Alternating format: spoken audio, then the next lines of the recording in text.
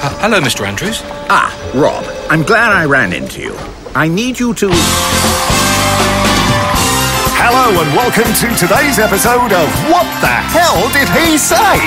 With us on the show, we have Rob. Please give him a warm welcome. So, Rob, what is it that your boss wanted to say to you? Was it A I need you to bite off my toenail. or B I need you to fight that new female. or C? I need you to write a short email.